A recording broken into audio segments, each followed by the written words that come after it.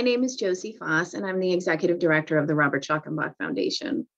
I want to thank you for joining us this evening for this virtual book launch of Volume 4 of the Annotated Works of Henry George. This series, which will ultimately be six volumes in length, is published by Rowman Littlefield Publishing and is sponsored by RSF with support from the Henry George Foundation of Great Britain. I'm excited about tonight's program, and I hope you are too. We'll start with the series editors, Frank Peddle, Bill Peirce, and Alex Lough, who will tell us about Volume 4, which features Henry George's Protection or Free Trade, as well as about the annotated work series as a whole, the motivations for creating it, and how it represents a unique contribution to the scholarly literature. We'll then hear a lecture by our keynote speaker, Professor Brad DeLong of the University of California, Berkeley. Professor DeLong will speak about free trade in the 21st century and how it relates to Henry George's thinking on the subject. And we'll conclude with a question and answer period. If you have questions or thoughts throughout the program, please include them in the chat function. I'll be moderating this section of the program and I'll be looking there to share your thoughts with the presenters. So without further delay, I want to turn it over to our editors, Frank, Bill, and Alex. Thank you so much. Hello, everyone. Uh, my name is Francis Peddle, and I'm uh, the co-editor uh, with uh, William Peirce of the Annotated Works of Henry George. And I am also here with my colleague, Alexandra Lough, who has been uh, working as our colleague on this project from the very beginning. And today I'll give a general introduction to the uh, project that's been ongoing now for about six years. And uh, talk a little bit about the Henry George Corpus and uh, the origins of this project. And then uh, my colleague Alexandra, she'll come in with uh, some details of a more specific nature and probably more of a historical thing because her her expertise is in history and my expertise in philosophy. So I'm the uh, I'm the idealist here in this whole project, and uh, Alexandra is definitely the the well-prepared scholar. So uh, the project itself uh, is a partnership between the Robert Schalkenbach Foundation, uh, based in New York, and the uh, Rowman Littlefield Publishing Group, uh, along with Fairleigh Dickinson University Press, and also it's sponsored by the Henry George Foundation of Great Britain. Schalkenbach Foundation is a publisher of Henry George's works, so it's appropriate that uh, they uh, have uh, been the uh, the key player, if you like, the key sponsor of this whole project. Now, uh, there's six volumes in the series. Uh, we're halfway through this series uh, um, up until basically pre-pandemic, and then things came to a standstill a little bit. So we've been about two years getting the volume that this book launch is all about out, which is protection of free trade. But before that, in 2016, we published our land and land policy. In 2017, we published Progress and Poverty, which uh, is George's most famous work. And in 2018, we published Social Problems. So the uh, series as a whole is projected to finish up fairly soon. Uh, we will have, uh, hopefully, uh, later this year, The Science of Political Economy, which is George's last work published posthumously in 1898. And uh, following that, in volume six, we'll have A Perplexed Philosopher, which was George's response to uh, the famous philosopher Herbert Spencer in the 19th century, who changed his mind. And in changing his mind, he got George very upset about that. So that's a critical work. Now, the series has scholarly contributions from uh, from eight scholars in the field and uh, the editorial team, which has been uh, Bill, Alexandra, myself. We've been uh, the ones guiding the project through. We're the uh, editorial management team, if you like. And we've also had some research support from uh, two universities. Now, let me go to the Henry George corpus, which uh, is a significant corpus, and it was widely distributed in George's time uh, through uh, many, he, he published a lot of stuff himself, uh, which was typical then as it is today and becoming more so today. But he um, was uh, reprinted an awful lot uh, in many languages. Progress and Poverty uh, saw many translations and wide distribution in his own lifetime and has continued to be in the public domain in a big way for uh, since 1879 when it came out. And all of these editions, though, these reprints and abridgments and so on, um, are not really what we call in in the academic world scholarly editions. They, you know, they sometimes when they got reprinted, they had uh, new prefaces which maybe address some issues of the day and so on, but they weren't really scholarly introductions to the editions, nor were they um, editions that had annotations. Because George, you know, as you would expect, he's writing 120, 30 years ago. He uh, mentions people that are long uh, dead and very obscure. Um, and um, it's helpful to know who he's addressing in these things. So we've we've done that quite a bit. Now, that is through endnotes and other places in going over what uh, what these references are to. And all the volumes have these critical annotations. Now, George's style is still pretty engaging. It's a Victorian style, but he's still quite readable. Um, and uh, he's uh, at times, as we say, pretty polemical. Uh, we've called uh, social problems in the previous volume his fighting book, but you could certainly say the same thing about the current volume that we're launching here today uh, protection of free trade. He was in the thick of all the major debates of his time because he was a journalist himself and he certainly knew how to take on the various pundits in the presses of his day.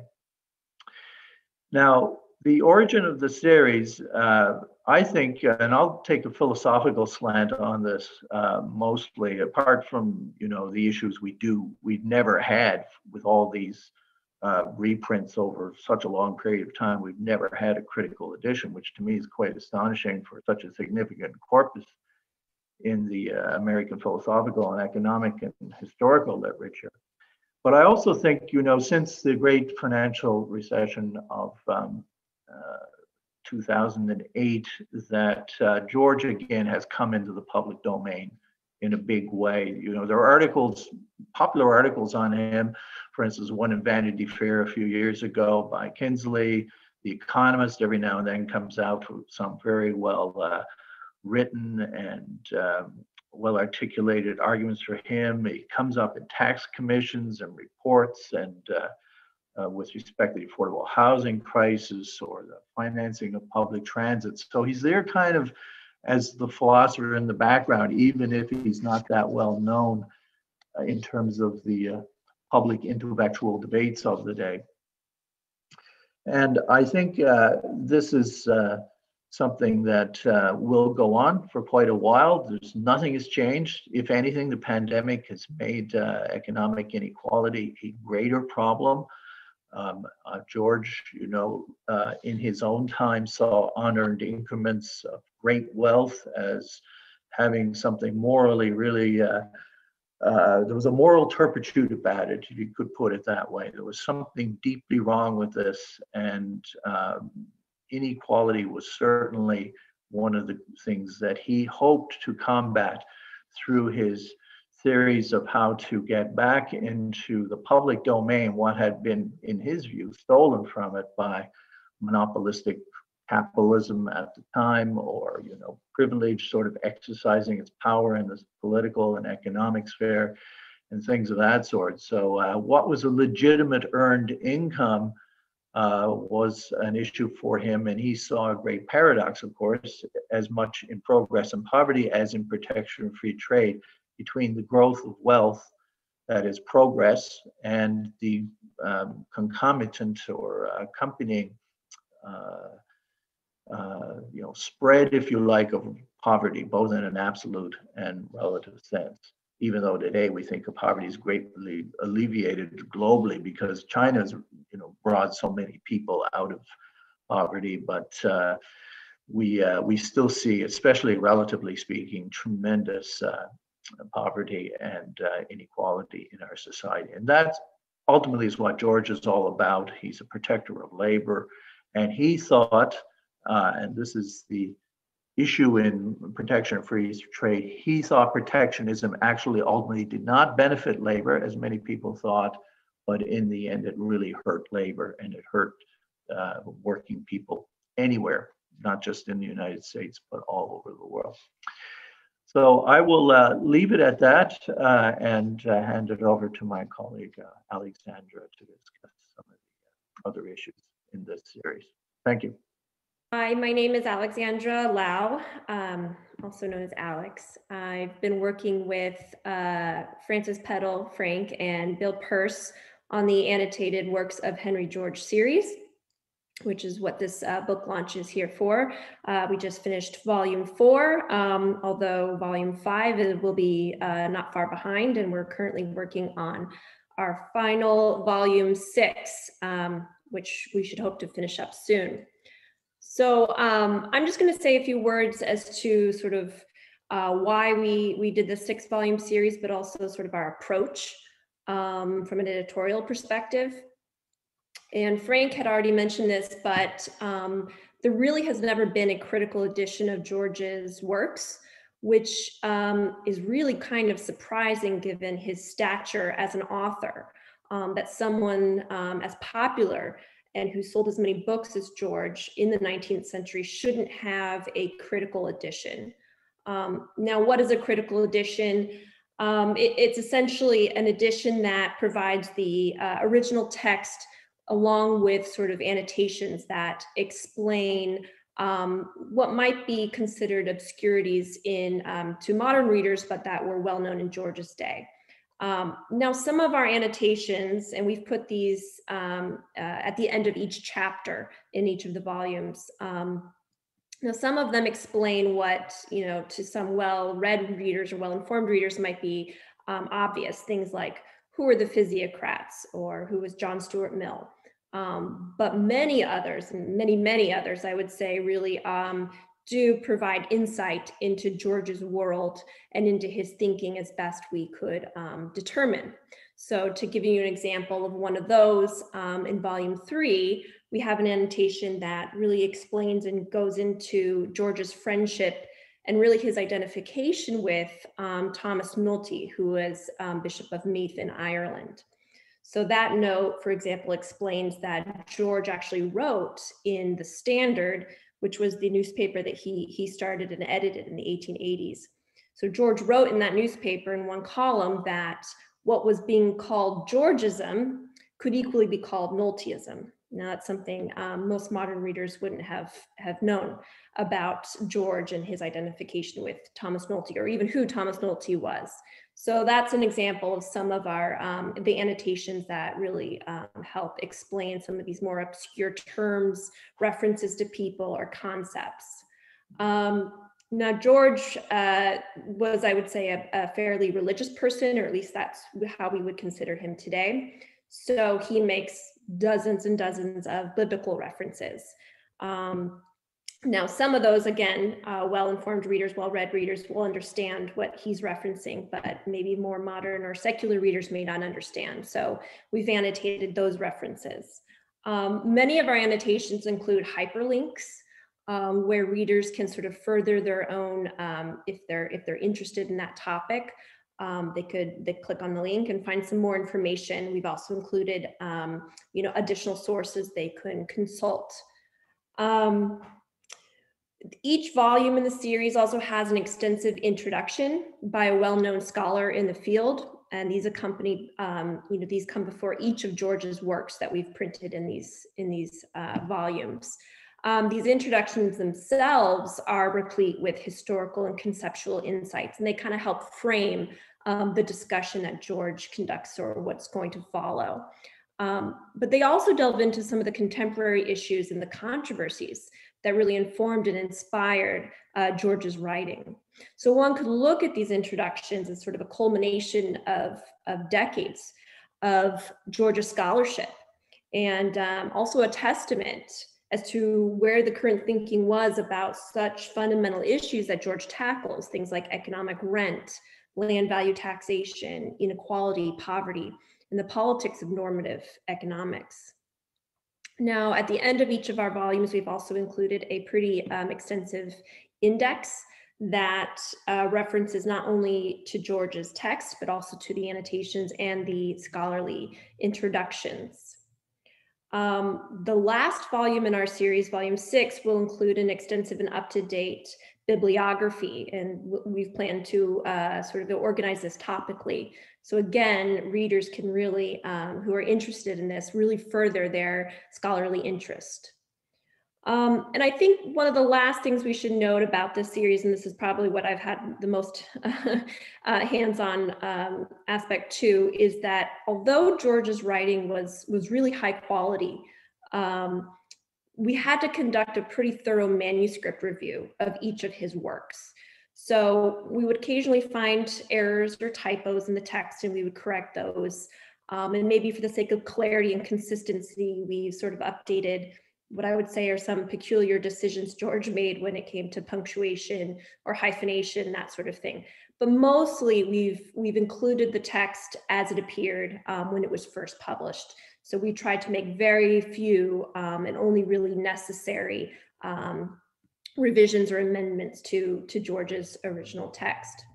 And that's and that's sort of what how we approached this this entire series. Um, and uh, yeah, if, if unless Frank has something more to add in terms of how we how we the process for how we prepared these volumes, um, I think that's that's about it. That summarizes it.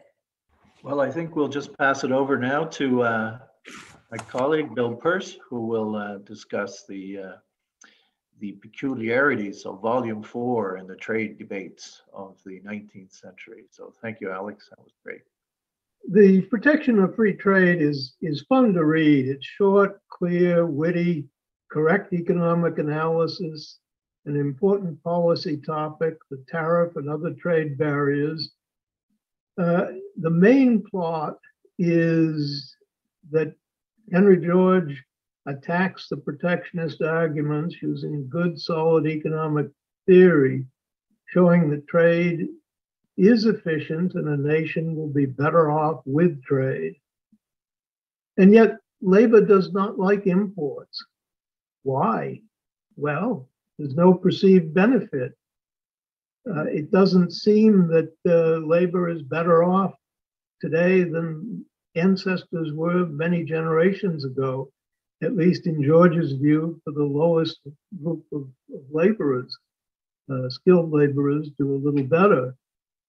And uh, in addition, the, the emphasis in trade on efficiency uh, suggests to labor that uh, jobs will be eliminated. And for many in, in the labor movement and in labor generally, um, what is desired is not so much output as a job. And indeed, as George points out, with, under current conditions, there are not very many people that can create their own jobs. They're dependent on somebody to give them jobs. So what looks like to the economist like a task to be done looks to many people like a job with which one earns a living. Um, and George points out that uh, many of the gains from production go to someone other than the producer. And indeed, he talks about the robber who takes all that is left if you're uh, if you're uh, walking home on a dark night and you fight off one robber with the, uh, buy him off with a little bit, buy off the next robber with a little bit, but at the end of the road, there's always a robber who takes all that is left. Then you don't worry about the earlier ones. So George's remedy for this is what he calls true free trade or the land value tax, and that's what Henry George was famous for, is devoted his book Progress and Poverty to explaining this. Um, the the, the uh, land value tax would amount to a, a single tax extracting land rents for the community use and providing ample revenue for services and a safety net. Um, a lot of people have who haven't read George thought that he was an agrarian reformer with his emphasis on land, but that's not so. George was a city boy, and he uh, he liked the, the idea of the density of of uh, city population and services, the fact that you could buy or sell anything, and the efficiency of being able to do that without a long hike to the general store and the county seat. Um, and the bulk of the land value in the country, in fact, is in the cities. That's why apartment rents are so high, that the land values are so high. Um, so he proposed the, the, the land value ta- tax.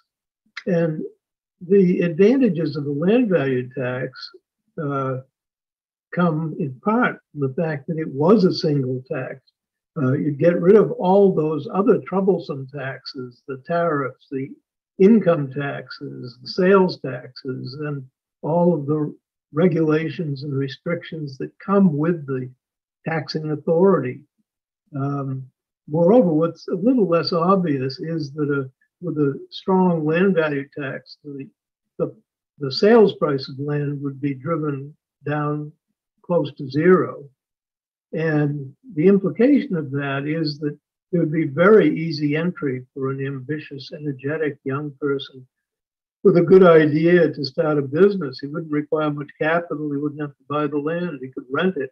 Um, he would be able then to hire other people, and that would do away with with the the unemployment.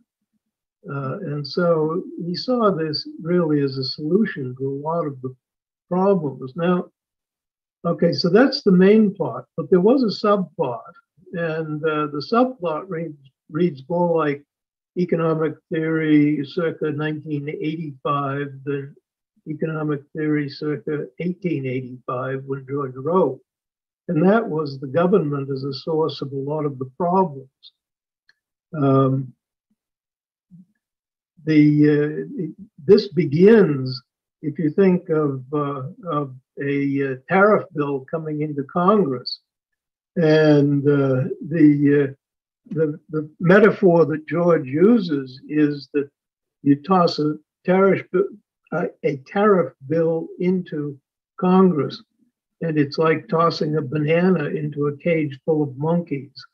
They're scraping and squealing to get at that banana, and uh, nothing real gets accomplished. The, the, second problem is the is the uh, the lobbyists, and uh, uh, if you toss a tariff bill in his day, or maybe an infrastructure bill today into Congress, then everyone wants a piece of it for his own city, firm, industry, and they're all they're scrapping for it. Now they may very well realize that the overall costs of the bill, because of the inefficiencies introduced, are greater than the overall benefits.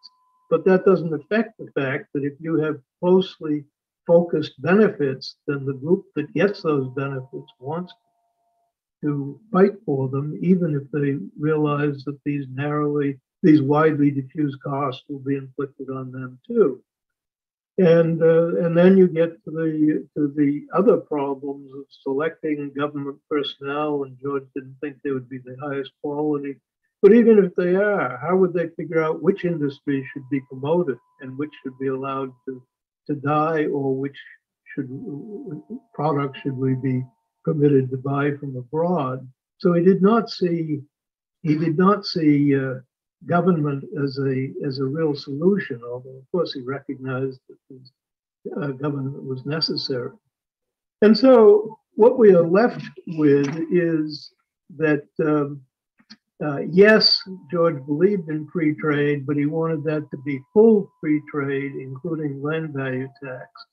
Um, thus, anyone able and willing to be a producer uh, could live well without the intrusion of big government, and that would diminish the wealth extracted from the producers by the other great categories of mankind, the beggars and the thieves. Thank you so much for that, Bill, Frank, and Alex. Um, just a note, the foundation is no longer located in Manhattan. We moved to Princeton in summer of 2020. So if you plan on stopping by, um, don't go to New York City.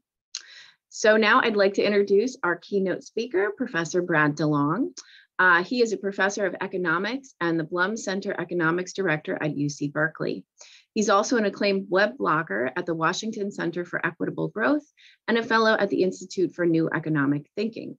He received his BA and PhD from Harvard University. In addition to his career in academia, DeLong has served as an advisor on federal fiscal policy and international trade.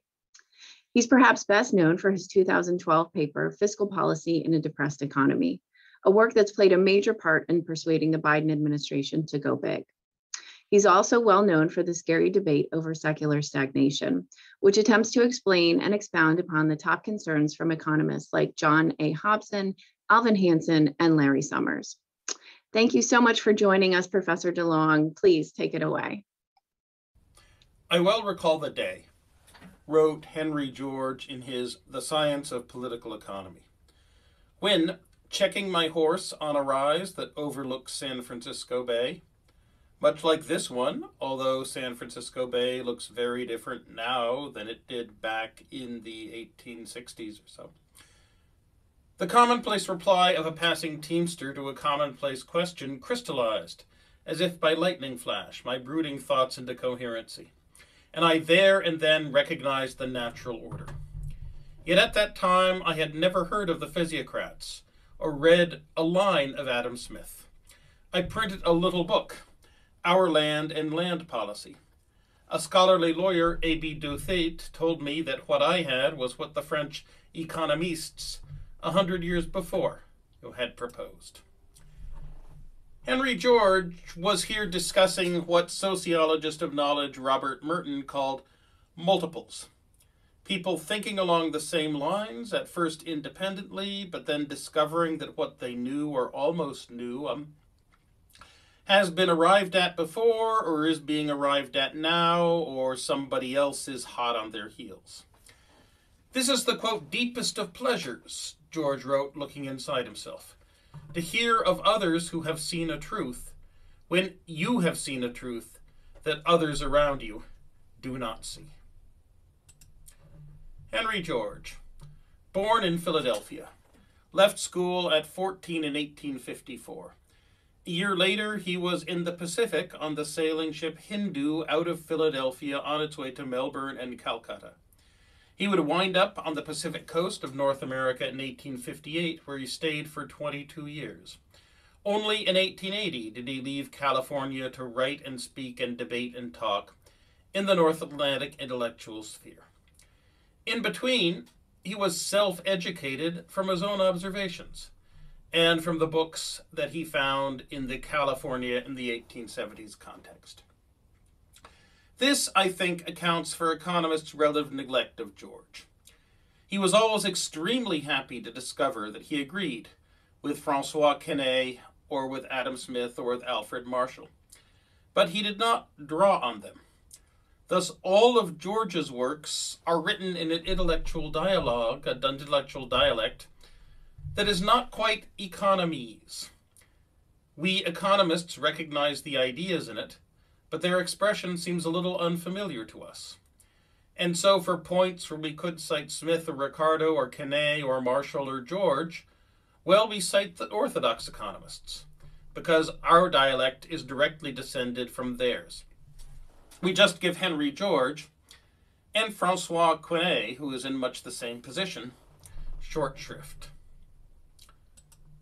Plus, there's the fact that George was definitely in the economist's face big time. Quote Political economies professors and teachers have almost invariably belonged to or been dominated by that class which tolerates no questioning of social adjustments that give to those who do not labor the fruit of labor's toil. They have been like physicians employed to make a diagnosis on condition that they shall discover no unpleasant truth. Given social conditions such as those that throughout the civilized world today shock the moral sense, in the colleges and universities, is it any surprise? Um, it is idle to expect any enunciation of truths unwelcome to the powers that be. Unquote. And, quote, it is true, as Macaulay said, that if large pecuniary interests were concerned in denying the attraction of gravitation, that most obvious of physical facts would have had disputers. Unquote. But even though Henry George did not feed much into the currents of academic discussion that led to today's discipline of economics, he did have enormous intellectual influence in America. It is a very important fact that progress and poverty had enormous rhetorical force in its day. A much more readable and, um, except for would be professors in dusty rooms, a more convincing book than the works of the economists. Henry George Jr. claimed in 1905 that 2 million copies of Progress and Poverty had been printed. The best selling book of the 1800s in the United States was of course, the Bible. The second best selling was Uncle Tom's Cabin. Ben Hur comes, I believe, third, and I still find that not understandable. But Progress and Poverty is fourth, outstripping the book that I think is number five, Edward Bellamy's 1887 very badly written utopian novel, Looking Backward. We know the impact of Uncle Tom's Cabin. Quote, so this is the little lady who started this big war, unquote, goes the apocryphal story of Abraham Lincoln's meeting with Harriet Beecher Stowe in 1863. Bellamy, um, Bellamy had an impact. George, George had a bigger impact. One of the interesting puzzles in North Atlantic political economy around 1900 is that the United States had a progressive era but Great Britain really did not.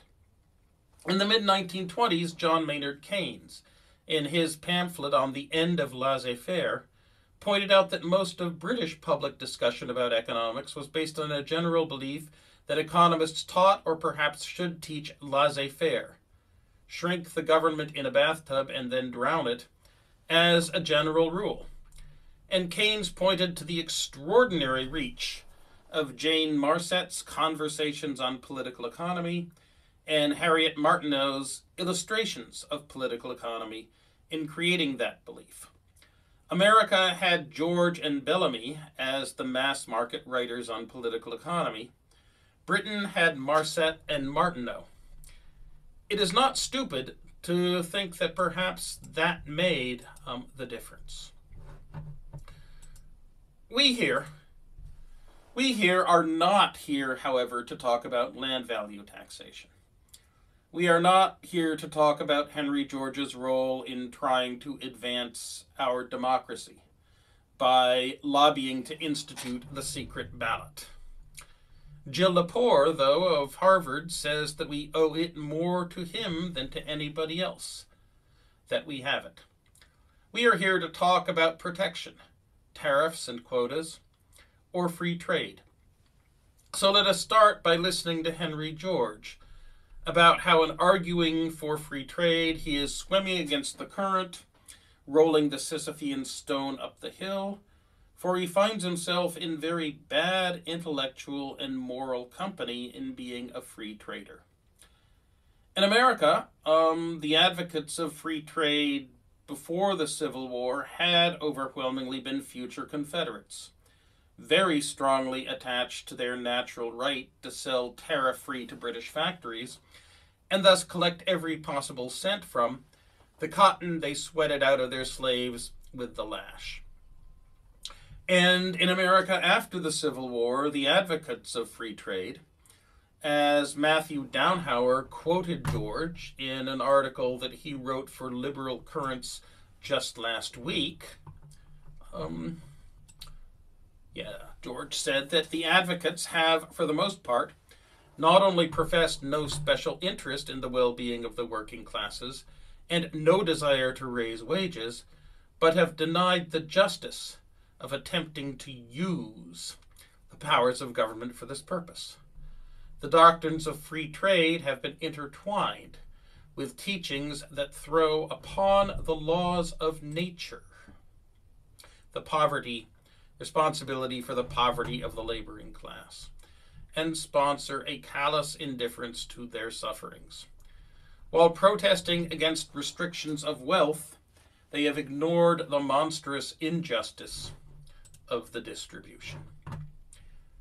And let us start by listening to Henry George on how tariffs are, in fact, an you might call it economic war, but an economic war waged by a government against its own economy. Quote Trade is not invasion. It does not involve aggression on one side and resistance on the other. We say the United States forced trade upon Japan, but what was done was not to force the people to trade, but to force the governments to let them. Trade does not require force. Free trade consists simply in letting people buy and sell as they want to buy and sell. It is rather protection that requires force, for it consists in preventing people from doing what they want to do. Protective tariffs are as much applications of force as are blockading squadrons, and their object is the same to prevent trade. The difference between the two is that blockading squadrons are a means whereby nations seek to prevent their enemies from trading. Protective tariffs are a means whereby nations attempt to prevent their own people from trading. What protection teaches us is to do to ourselves in time of peace what our enemies will seek to do to us in time of war. There it is. Milton Friedman. Milton Friedman called that the most rhetorically brilliant argument for free trade ever. I suspect that Friedman was less pleased for what came toward the end of the book.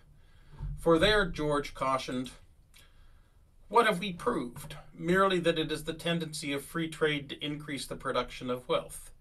But from this, it does not follow that the abolition of protection would be to have any benefit of the working class. The tendency of a brick pushed off a chimney top is to fall to the ground, but it will not if it is intercepted. Milton Friedman believed to his dying day that anything that increased the productive powers of labor did augment wages unless government regulation to establish and maintain monopoly power in the economy interfered. But Henry George disagreed. He saw, in fact, existing conditions that were preventing the working classes from gaining the benefits of this tendency. In fact, George said, even the claim that freer trade is good for the working class, that was made only in countries that were at least semi democracies. In countries where the working class had little or no political power, they did not even bother. Um, and all this posed a deep and serious problem for free traders. As George wrote, the problem we must solve is to explain why free trade, or he said other things like labor saving invention, fail to produce the general benefits we naturally expect. It is a problem of the distribution of wealth. When increased production of wealth does not proportionately benefit the working classes, it must be it is accompanied by increased inequality of distribution. In saving themselves free from trade and labor saving inventions, um, they do not by themselves tend to inequality of distribution, yet it is possible they may promote such inequality. Now, as we all know, George's solution was the single tax, the unimproved land tax. The root problem he saw was people who took without working by means of control of resources that no human had made. The solution was to take those earnings that were paid not for human effort, but for natural scarcity made actual, and that were charged a price for the marketplace and then to take and recycle those earnings back to the people. That way, you would equalize the distribution of wealth, but you would not have to do anything to interfere with the market economy's ability to send people signals that they should do what would actually benefit the economy as a whole by producing things that were valuable at a resource cost that was as cheap as possible. now, um, Henry George was 100% right in identifying this as a big problem with free trade. Wolfgang Stolper and Paul Samuelson, writing in 1941, is now the standard reference for us economists. Consider, they said, a trading economy in which there are two countries, each of which produces the same two goods, call them food and crafts, both using two factors of production, labor and land, with food being the more land intensive good. Labor will be the relatively scarce factor of production in one country, and it will be the relatively abundant factor of production in the other.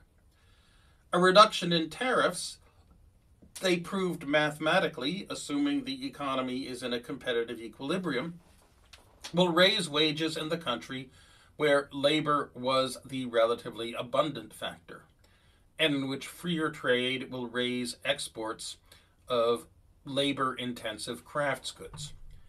It will, however, reduce wages in the country where labor was the relatively scarce factor by subjecting their craftwork sector to foreign competition and reducing the price of craft goods.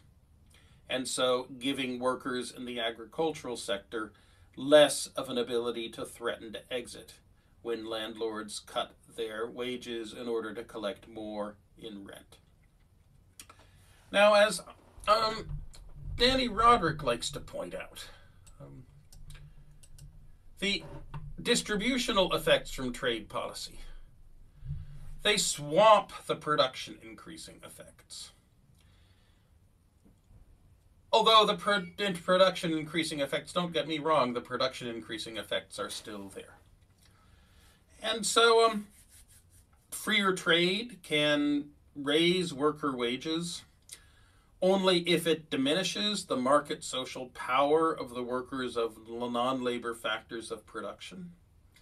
And that, by necessity, can be the case only half the time. Yo, Henry George was right. Moving toward freer trade increases the amount that can be produced by a well functioning economy. But Henry George was also right increasing, freeing up trade can increase inequality. And that increase in inequality will swamp the effect on workers' wages of increases in um, productive power if it goes the wrong way.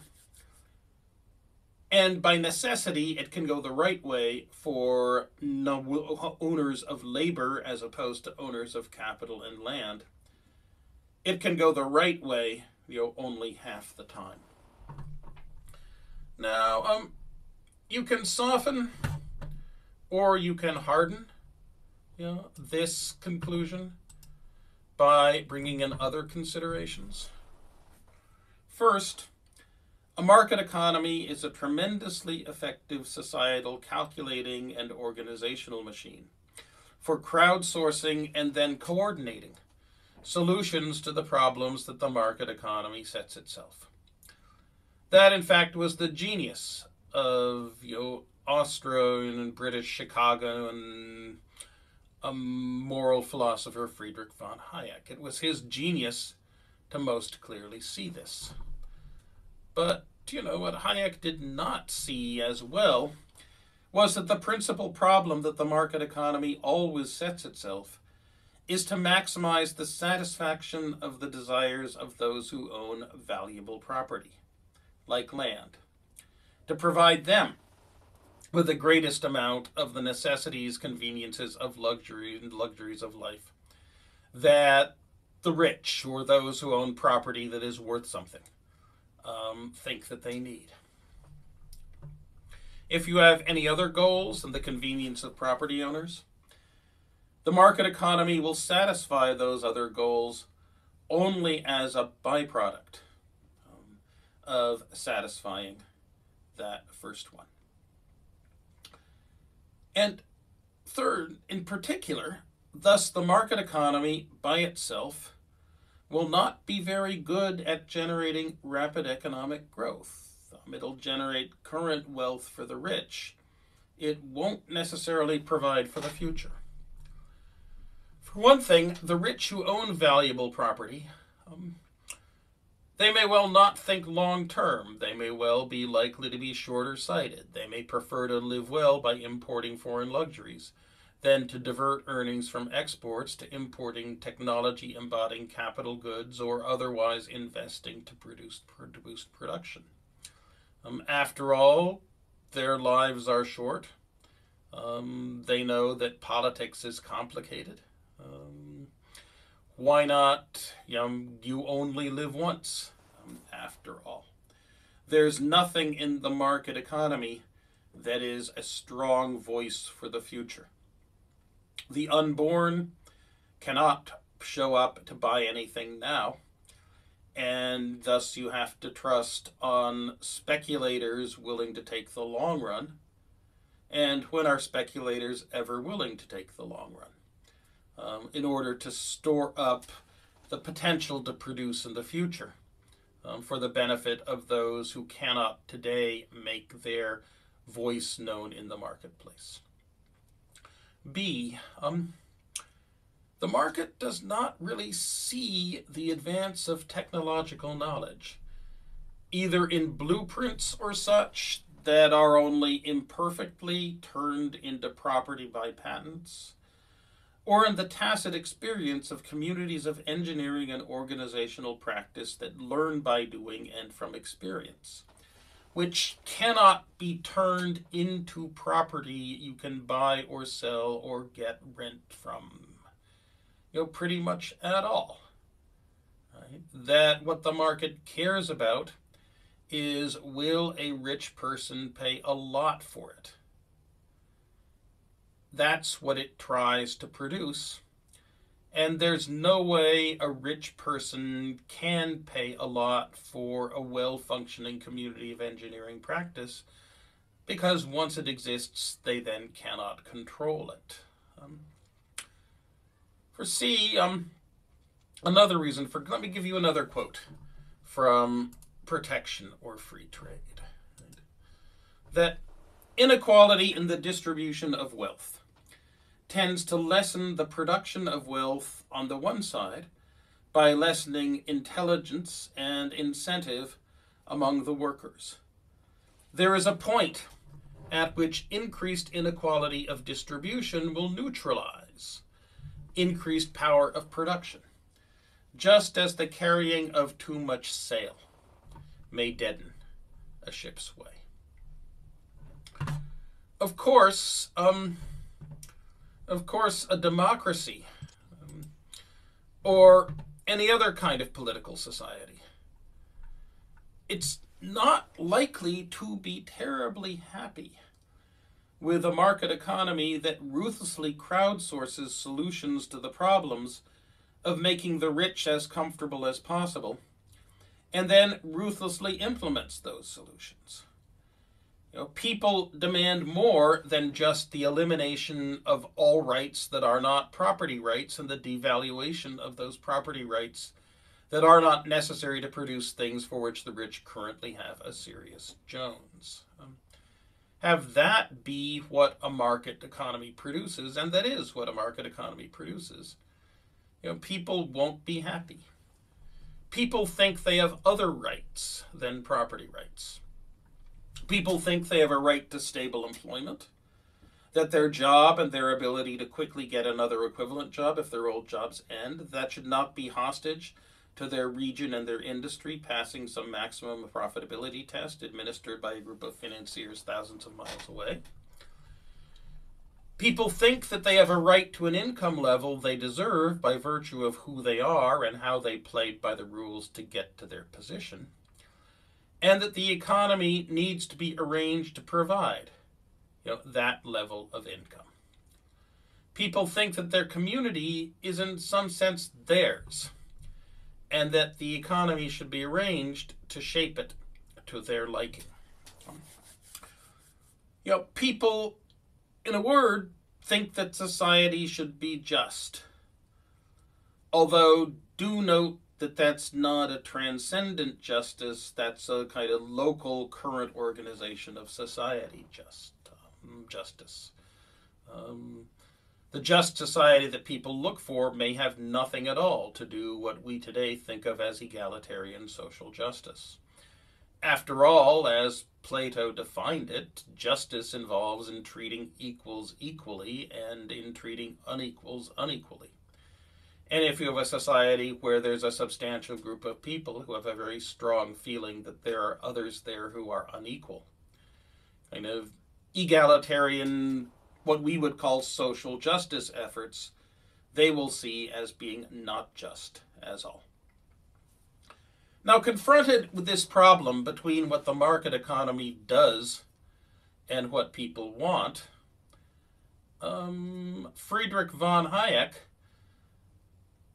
had a hard piece of advice to give. Um, he was do not ask. The market economy can produce it can produce a lot.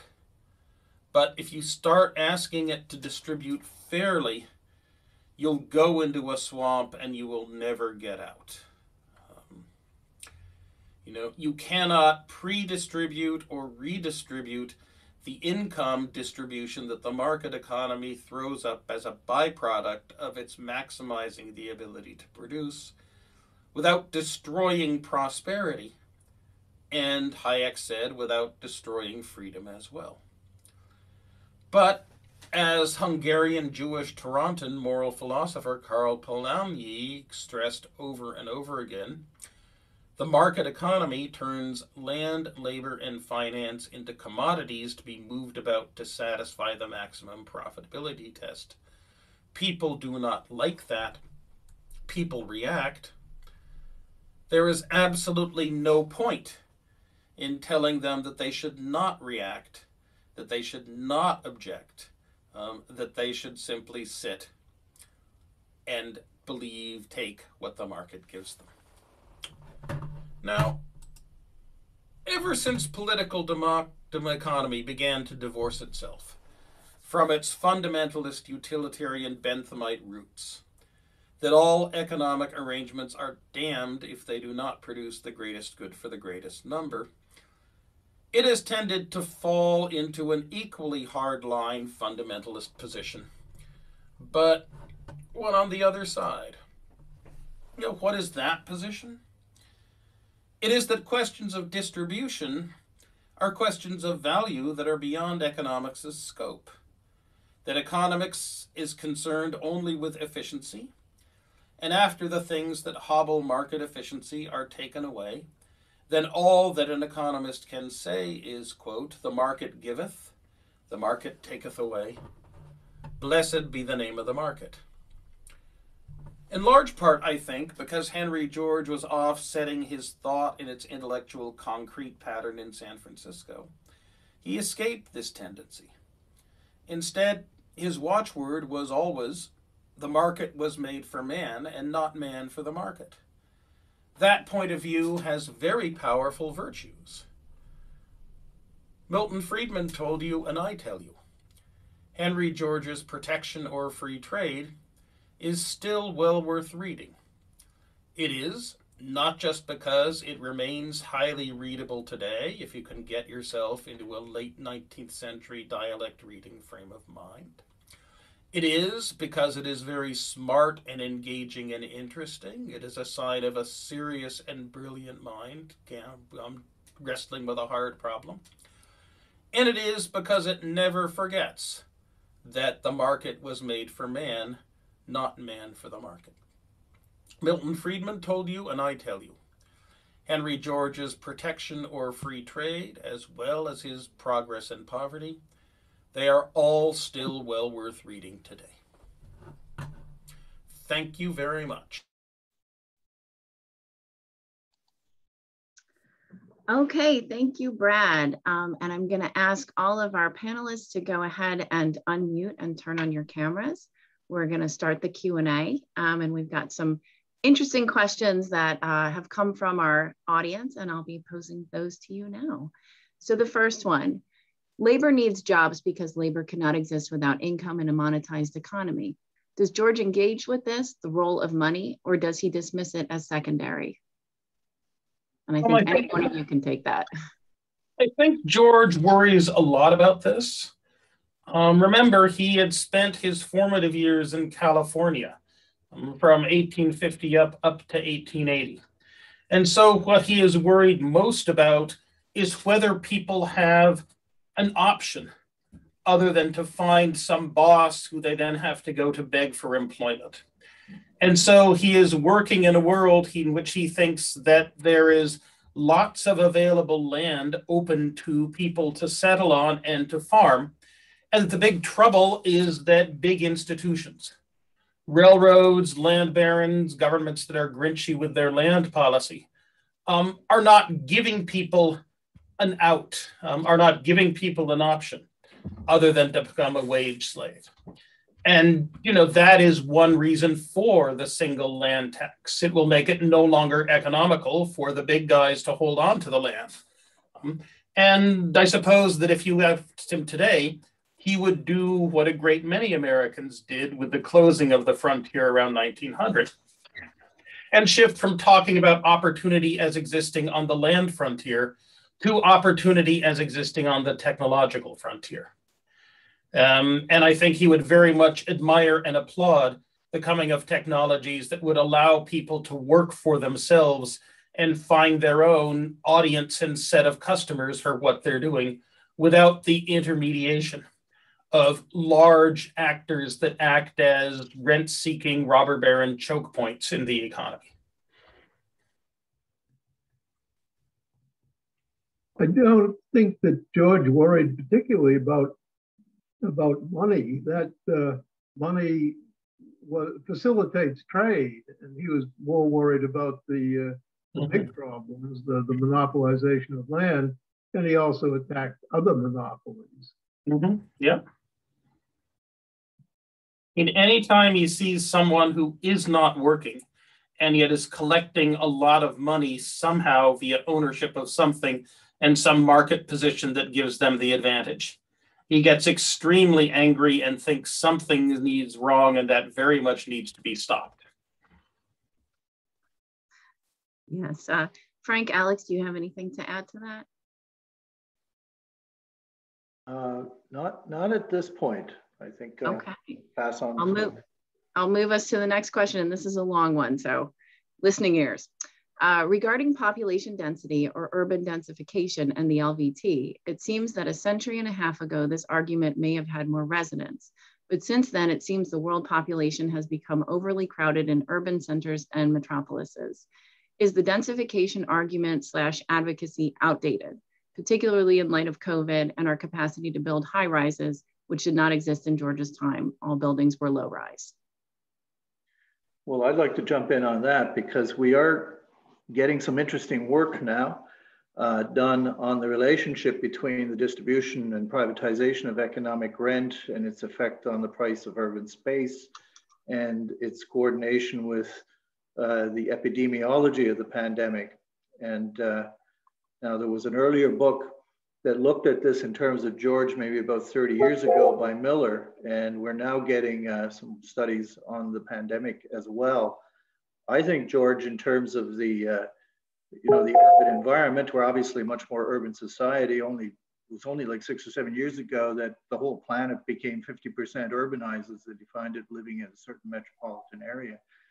And uh, um, you know, most countries in the West are, you know, Canada, for instance, we're over 80% urbanized, and it's the second largest landmass in the world, so it's pretty amazing. And uh, you know, George was principally, I think, an urban economist. He was he was not, a, as as Brad sort of pointed out, he was not an agrarian economist.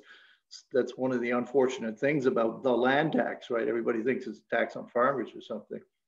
And uh, so I think the coordinations between the price of urban land uh, and uh, the distribution of inequities in terms of health and education is an extremely important theme that people, uh, and if there are potential um, applicants to your research program, should start looking at in greater detail. And there is some work, interesting work being done on that right now. Okay. Uh, free trade is opposed for two reasons to preserve local jobs and to force rogue countries to adopt social justice. Did Henry George ever make this distinct, distinction? Hmm. Um, I don't think he ever thought that protection might be used as um, a weapon for social justice. That is, I'm trying to think of examples in which it was used. Um,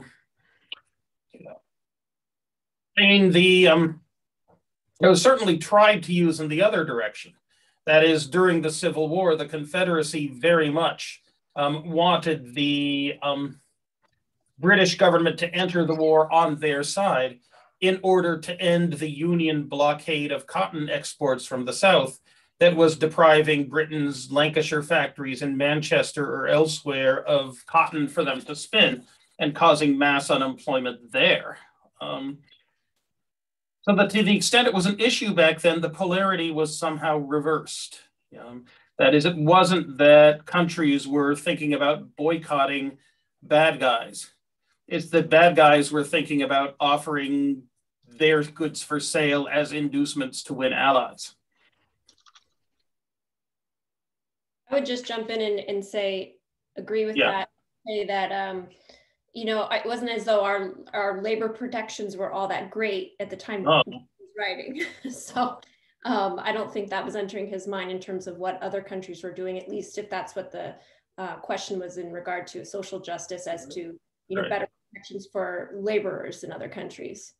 I mean, this is an age in which the liberal president, the liberal president, Grover Cleveland, um, deals with a railroad strike by attaching a mail car to the back of every single train so that any attempt to at all block the movement of railroad cars through Chicago um, is a felony because it's interference with the mails. Wow.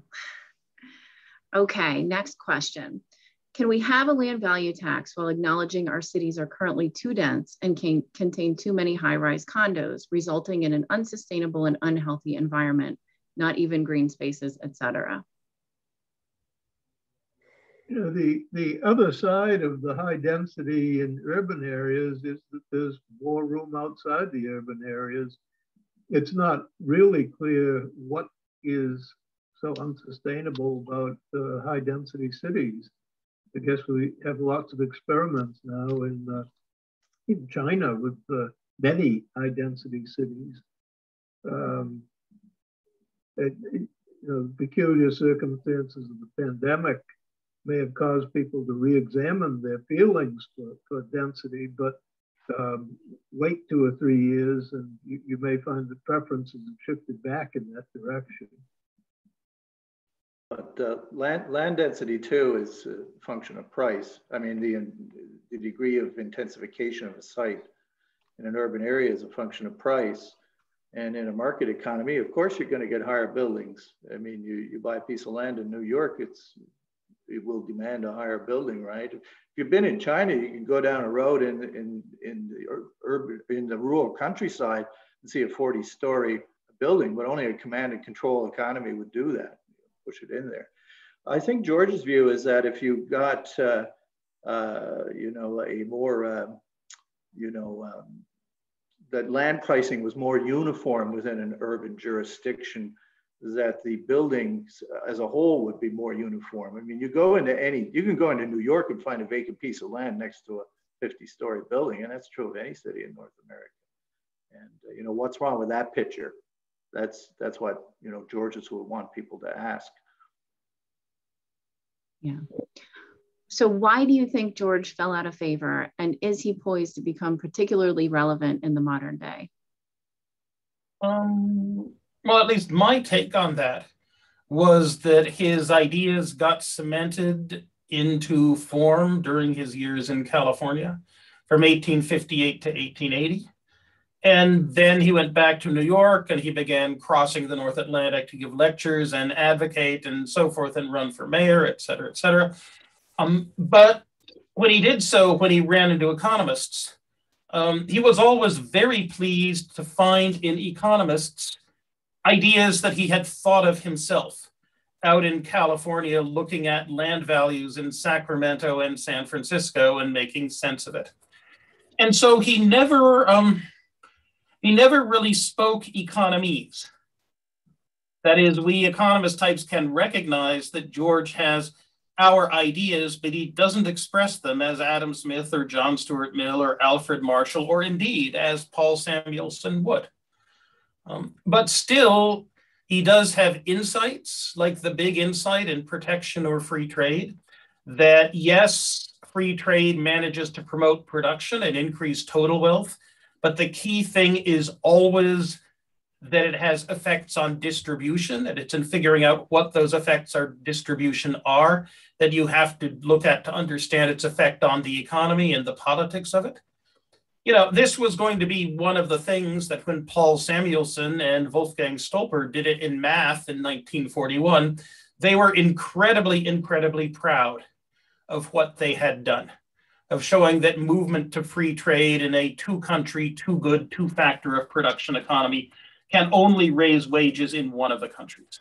Um, and yet, that was something George had been talking about 60 years before, but not in terms that immediately resonated with economists.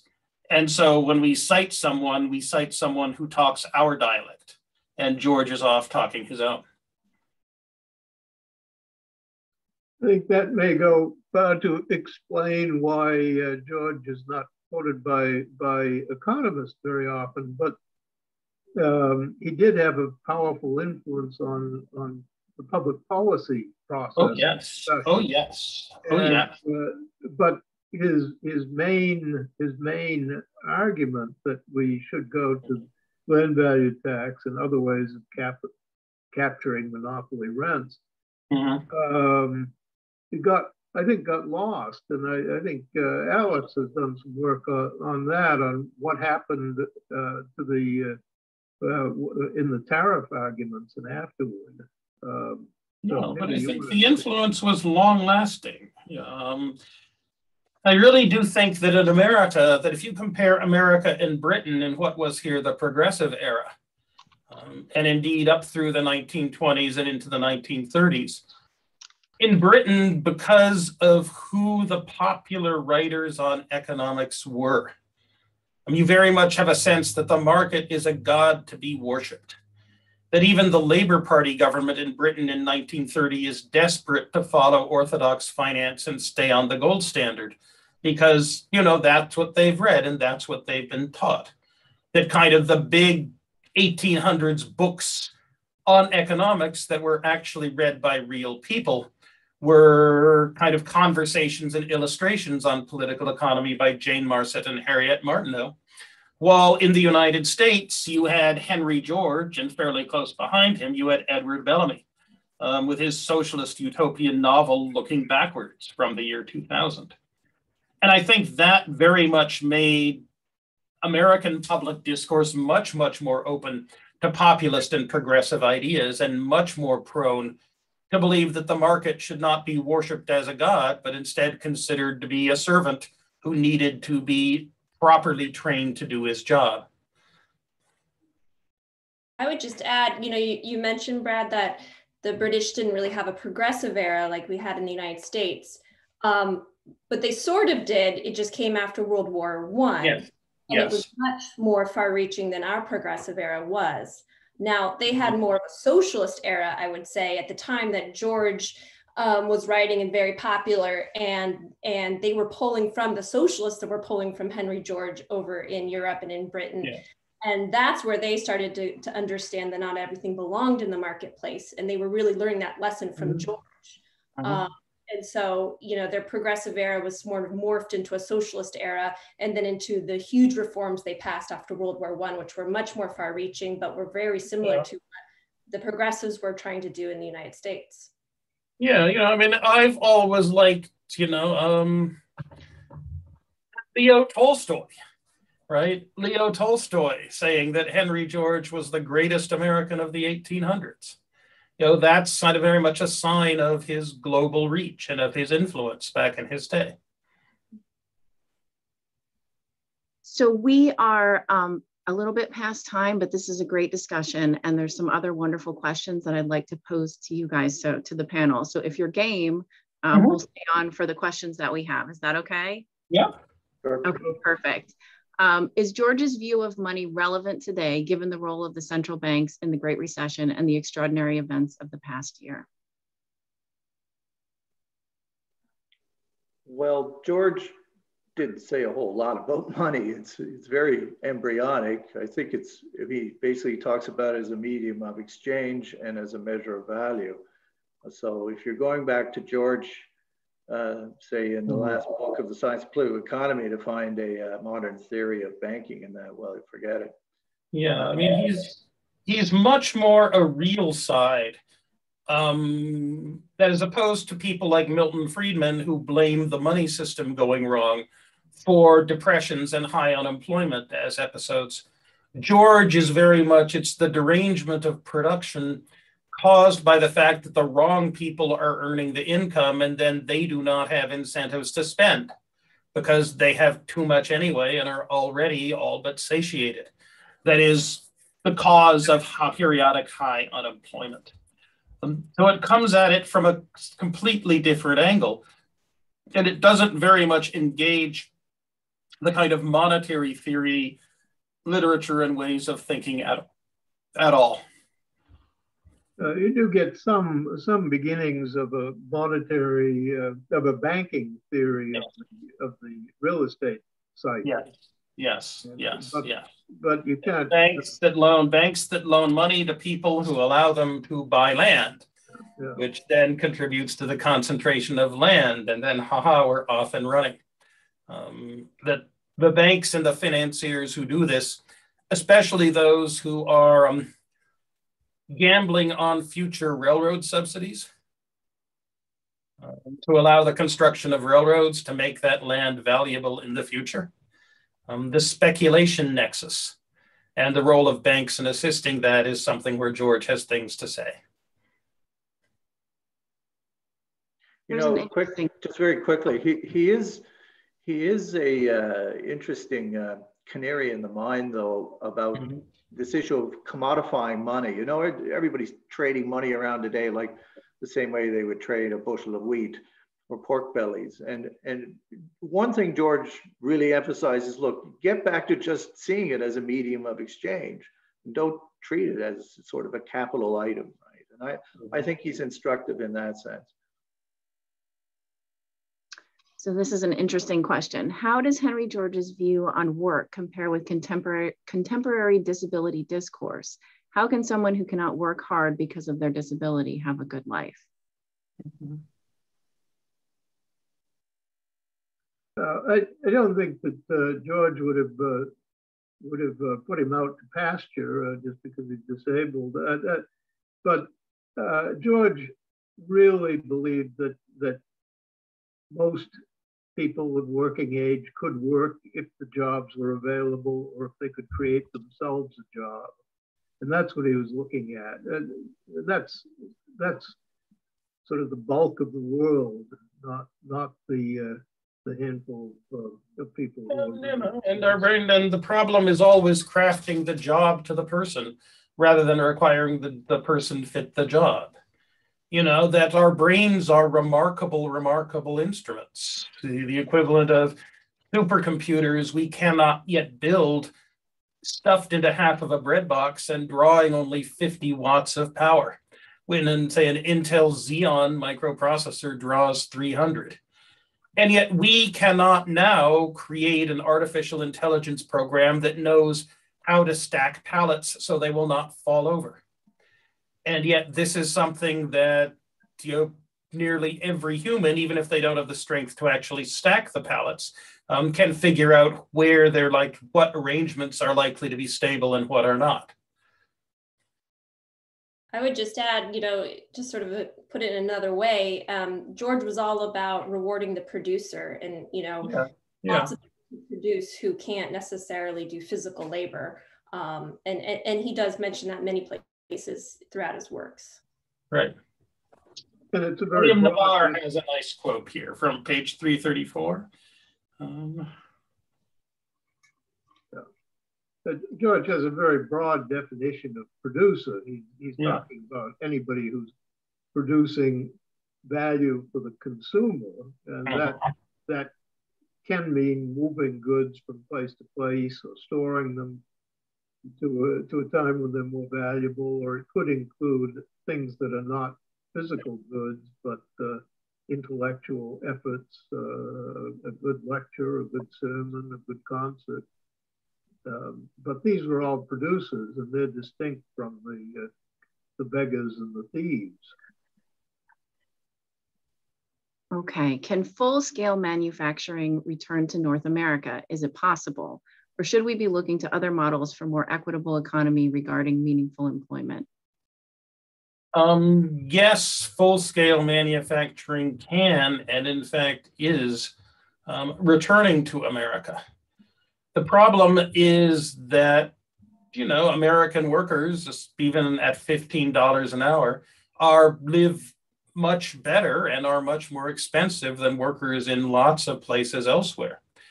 And so when manufacturing returns to America, it returns either because the job needs American workers' skills or because the job doesn't need all that many workers at all on the factory assembly line.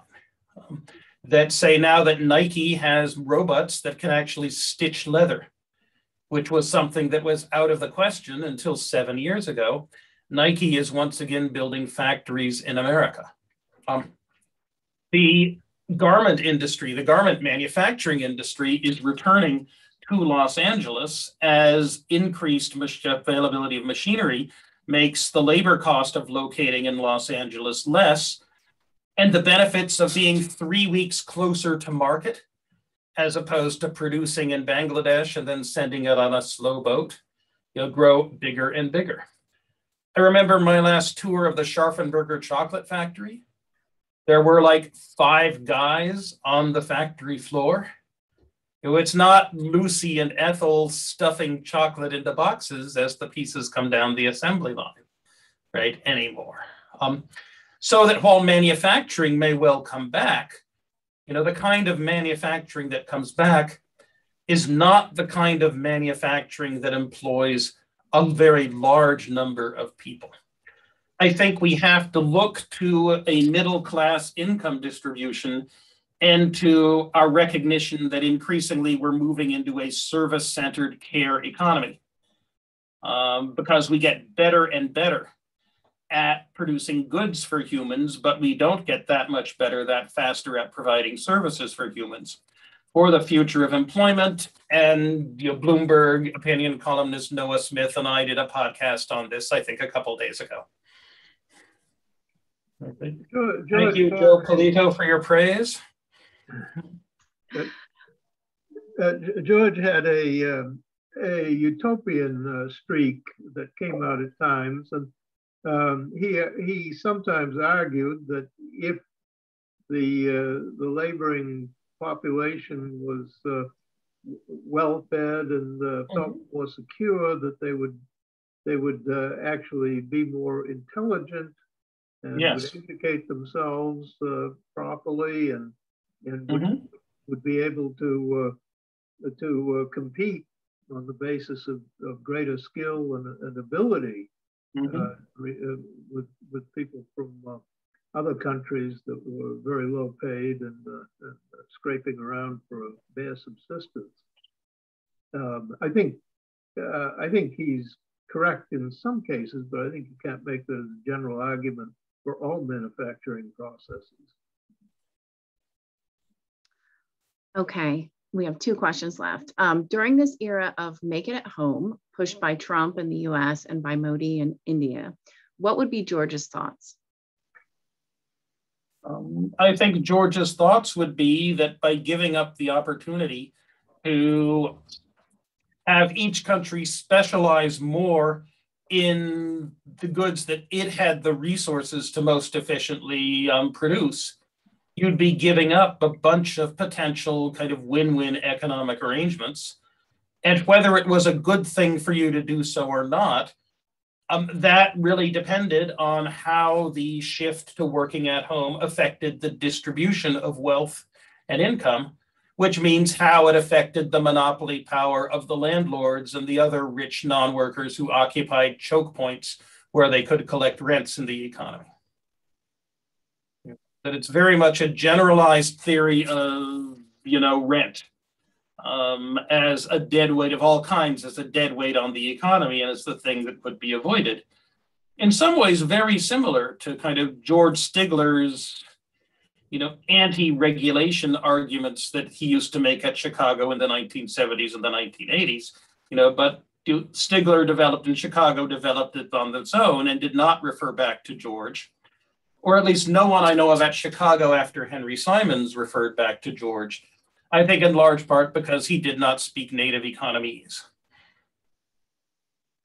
Uh, yes. George had had uh, no kind words at all for the argument that uh, we should import only those things that we cannot make at home. So that's like saying you shouldn't uh, yeah. eat, eat, eat any food that you can't. Uh, if you can cook it at home or grow it at home, then uh, you shouldn't buy it at all. Mm-hmm. So no, I mean, he thought of that as one of the, the crudest protectionist ideas. Mm-hmm. Okay, and our last question for the evening, can you expand on how George's definition of monopoly is different than the definition used by many economists? Um, but there, there is uh, there is a uh, one technical point, and that is that uh, um, if if land were truly a monopoly in the strict economic sense, the uh, the rent would be much higher than it is now because we do have competing landlords.